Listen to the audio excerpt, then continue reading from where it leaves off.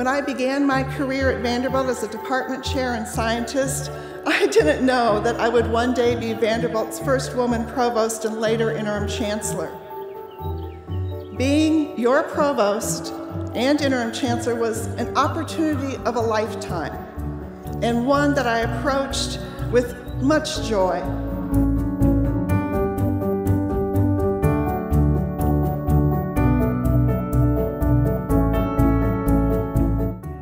When the pandemic hit, I had to let go of all of my preconceived notions of what the last months of my tenure as interim chancellor would entail.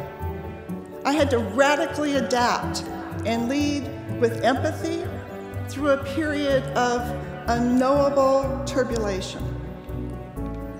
Faced with one difficult decision after another, I had to rely on my values and the values of our institution, calling on the community, the families, the students, the faculty, the staff, to mobilize quickly, to mobilize their compassion, their creativity, and the remarkable ability to collaborate across boundaries that make our learning environment so unique.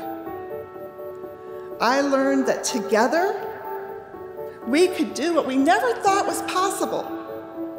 And at the same time, I found within myself new depths of fortitude. Now I'm carrying all that with me, everything that I've learned into the next adventure of my career. And in those steps, I'll create new ways of having impact.